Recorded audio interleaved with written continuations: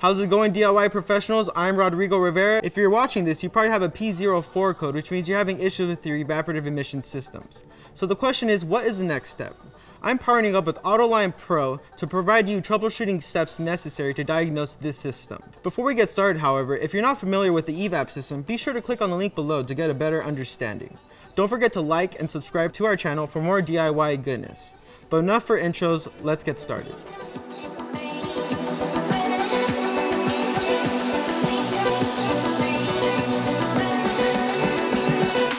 The first component that we're going to talk about in the troubleshooting step is the gas cap. The gas cap has a thread design and O-ring around its perimeter. The number one cause of the gas cap is it being defective, so always ensure that this O-ring is not damaged. Another cause of the gas cap not functioning right is just a person not tightening it appropriately. A lot of people are always in a hurry during fueling and they only give it one good turn, but they do not let the O-ring seat appropriately so fumes will escape and trigger a code. Sometimes it is just as easy as tightening the gas cap. And sometimes it is just as easy as replacing a really cheap part at the top rather than thinking of it being a huge issue. So always ensure when you check out the gas cap, ensure that the O-ring is still thick and showing its appropriate diameter. If the O-ring seems too flat, it's probably not holding its seal and it must be changed. Now our newer vehicles, the gas cap is completely removed. Instead of using the gas cap, they use a flap design with a return spring on it. The principles are still the same. There's a seal around that flap, so ensure that the return spring of that one-way flap is sitting all the way. If the spring is worn out and it's not sitting all the way, there's probably fumes escaping from within that apparatus. The next component that we're going to talk about is the fuel tank within the vehicle. The fuel tank is usually located underneath the vehicle in the rear, but always check a database to ensure the location of the fuel tank.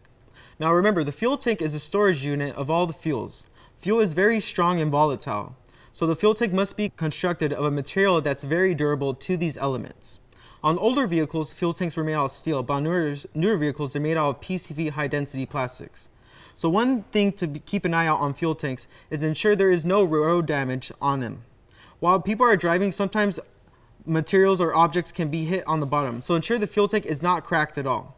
There are a couple hoses that enter the fuel tank, which could be the filler spout or the fuel pump assembly up on top. Ensure there are no signs of leakage or no signs of fumes. Always trust your nose when diagnosing the EVAP system. The next component that we'll be talking about is the purge valve. Remember, the purge valve is located underneath the hood by the intake manifold. Always check your database to ensure that this is the location of this component. Remove the purge valve. It's going to have two lines, one inlet, one outlet, and a connector. It might have a 10 millimeter bolt or a couple more, but there's no complexity to it. Once the purge valve is removed, understand that the purge valve is always closed when naturally sitting. So when no voltage is applied to this apparatus, the valve should be sealed. You can check out the functionality of this purge valve by applying vacuum to it. But sometimes we don't have the money to afford that vacuum tool, so we can simply blow into it and ensure that it holds its seal. As you can see, we can hear air escaping from within this unit, which means the seal, seal inside here is damaged.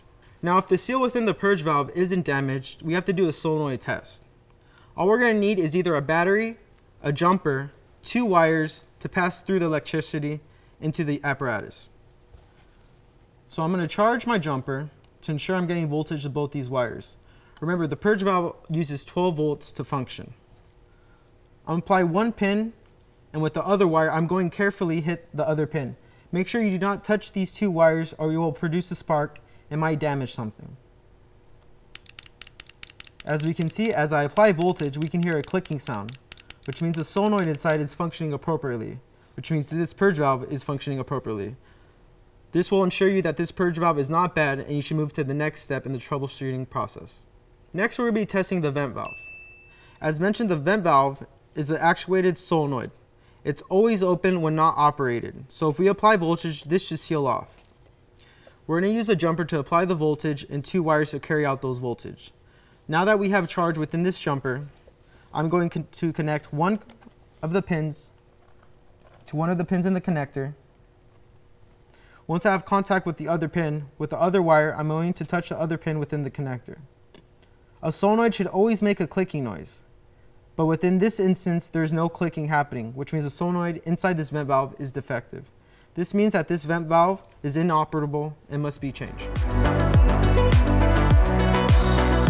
The next component that we'll be talking about on the evap system are hoses and lines. The principles of the hoses and lines are always the same. They interconnect all the components so the fumes can get from point A to point B. So the main goal here is to ensure there is no damage to these hoses or lines. When it comes to steel lines, it's very rare for these to crack. Usually when you look at steel lines, you want to be looking at the joints where there might be soldering. These could be points of interest that could be damaged. Ensure that there is no seepage of fluids or smells.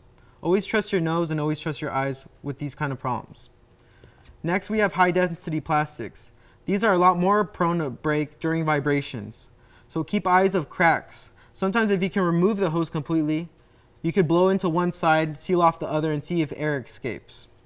But always remember plastics are a lot more brittle than steel and they are more prone to damage.